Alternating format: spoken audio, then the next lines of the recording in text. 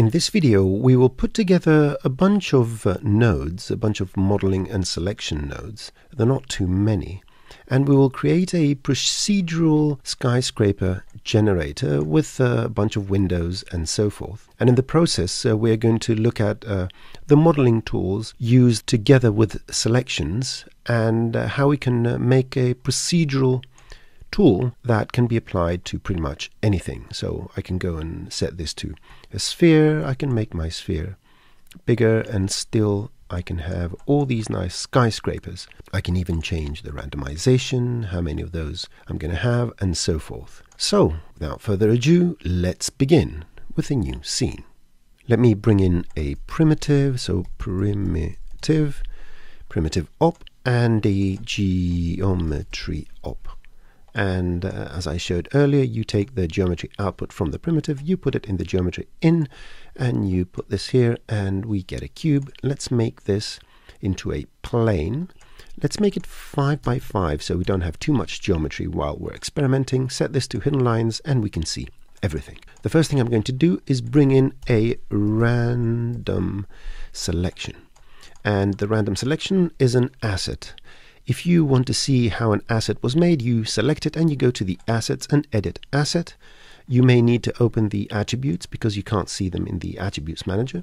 And you can go in and check out how this was made.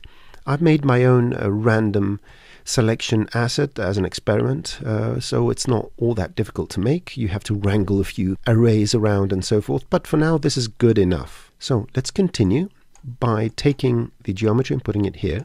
And the first thing I want to do is inset the random selection. So let's type inset the extrude inner. That is, I'm going to intercept the wire. You can see that now it creates this. Set it to proportional. Excellent. But I don't want it to happen to all. I want it to happen only to the selection. There you go. Fantastic. Now, the particular asset, random selection uh, has a mode to just drive a selection, just like this, a momentary selection. Or what you can do, you can actually put it in the data stream, and this will create an active selection for whatever you're going to do afterwards. So now this is an active selection. It's part of the asset. If you go into the asset, you will see that it has an active selection that drives the output. If you go all the way here, the geometry is driven by an active selection, whether it's a point or a polygon selection. Excellent. So the only little thing with the random selection is for some reason the interface in its current form doesn't say points or polygons. I think polygons is the first one and points is the second one. Anyway, you can go in here and check it out. So we have the inset, the randomization, and uh, let's randomize uh, to a low level, a chance of 24%. Uh, this particular one is not very accurate, but it's quite fast. So it won't give you exactly the number from the uh, chance percentage. Uh, it will give you a number close to that. So it's good enough for what we are doing at this point. Now the next thing I want to do is, uh, since we have this active selection, I want to create my first extrude. So type extrude, and let's put it here, and we have our first buildings. Uh, let's uh, grow them a bit. Let's add some randomization to them. That's absolutely fantastic. Now, after this extrude, I want to create another extrude because what I want to do is I want these over here to become windows and the rest to have no windows. So let me just copy and paste this and I'm going to add this in the stream so we have a second level of extrusion with a different randomization and a different offset. So we have this. So the question now is how do I go and add windows to these polygons over here. So all the polygons that go around on this level of each skyscraper is going to have windows. So let's take a look at our selections. I'm going to go to my polygon mode and this will give me feedback about the active selection. And it mostly works with the active selection for now. I want to remind you this is a technology preview, so not all the features are working yet. So let's go and think about this for a second. These polygons here, at which level did we generate them? So when we were at the inset level, so let's go and check this out. So at this level here, we have all these polygons.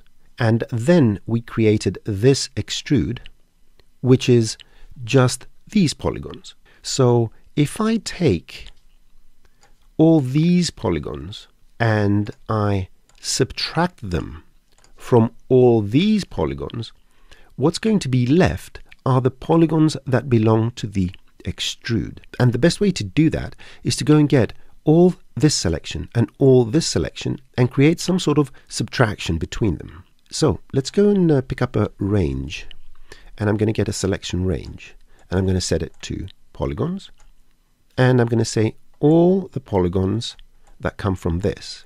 Then I'm going to make a copy of this and say now take all the polygons that come from this. And I want to take these and subtract these. And the easiest way to do it is by using the erase index. Because we know that selections are index arrays, if I take all this array and I subtract all these numbers, what I'm left with is just the indices, the arrays that contain the polygons that were just generated. So let's go and test that. I should be able to interject a subdivide, so subdivide, that will subdivide my geometry. Let's put it in here. You will see that everything is going to be subdivided. You can see the active selection actually subdivided. But what I'm going to do is go and put this in here. And the only ones that are subdivided are the newly generated polygons because I want to do some things to them, not just the subdivide. I'm going to set this as an active selection. So I'm going to press C and type active.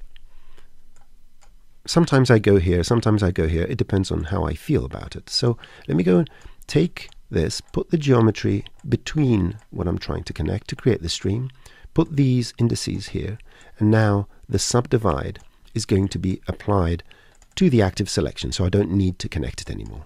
Let's go and see. I can make this 2, 3, so I can create any number of subdivisions I want to.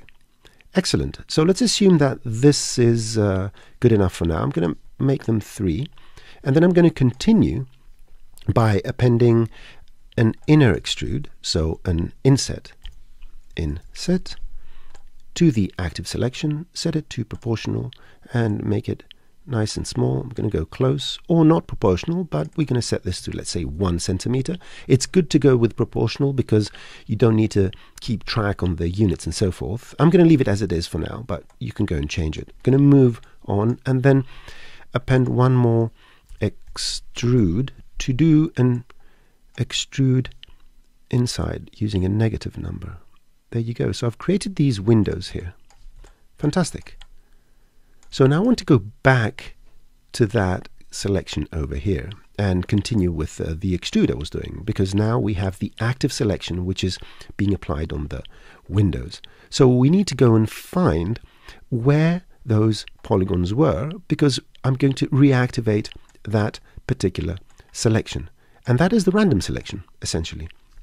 So what I'm going to do is uh, grab another active selection, copy and paste, I'm going to put it in the stream and I'm going to go and bring the random selection I did right at the beginning and now I can go and add any other modeling operations I need to the rest of these polygons. Then I'm going to bring in a bevel fantastic polygon bevel and it's acting on the active selection set it to proportional do this and again, I can add randomization here and here and here.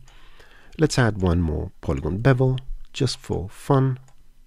And it's acting on the active selection again.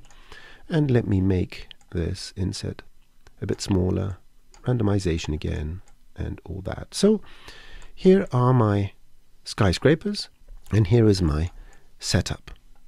From this point onwards, I can go and uh, change my input primitive and let's uh, use the sphere and let's uh, use an icosahedron and let's make it much bigger.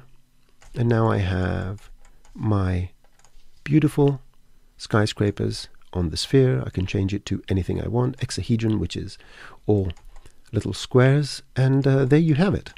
From this point onwards I can take all these and let me go and select them all.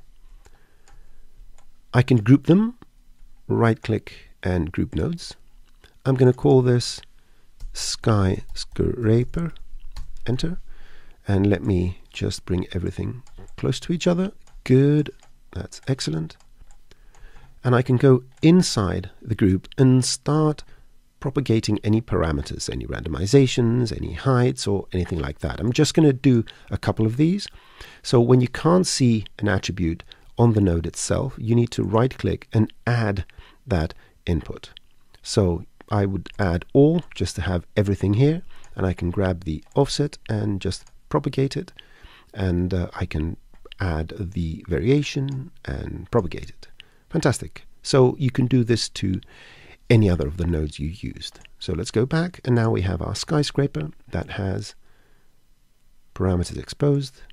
Fantastic. I think I'm going to expose one more, which is the random chance and seed. So again, add all. Let's take the seed, propagate it, and the chance, and propagate it. And there you go. We have an asset that does one particular thing and only took us a few minutes to create. I would advise you watch uh, Chris Schmidt's um, presentation that took place on October the 28th for the 3D motion show, and uh, he shows a different way to make uh, a procedural city that has a few more bells and whistles, but the process is very similar.